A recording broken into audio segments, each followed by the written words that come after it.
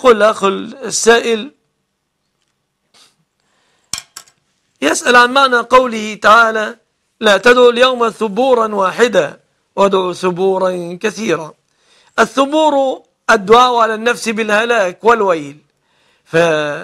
فأهل الكفر والعياذ بالله إذا نزل بهم من البلاء ما نزل من عذاب الله دعوا بالثبور دعوا بالثبور. قال الله سبحانه وتعالى لا تدعوا اليوم ثبورا واحدا وادعوا ثبورا كثيرا. أي ادعوا على أنفسكم لا مرة واحدة بالهلاك بل ادعوا مرات ومرات ومرات ومرات. هذا والله تعالى أعلى وأعلم.